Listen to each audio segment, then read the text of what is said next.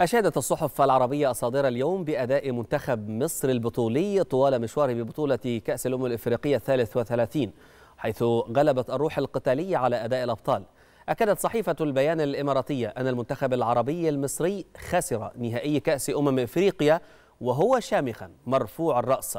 أوضحت الصحيفة الإماراتية أن الفراعنة ربحوا ثلاث نهائيات وذلك في إشارة إلى لقاءات مصر مع ساحل العاج والمغرب والكاميرون مقابل خسارة واحدة في نهائي واحد.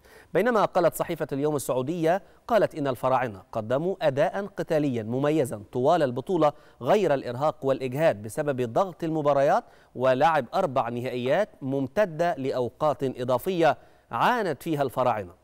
من جانبها ذكرت صحيفة الشرق الأوسط السعودية أن ركلات الترجيح عاندت المنتخب المصري وابتسمت لنظيره السنغالي في نهائي النسخة الثالثة والثلاثين.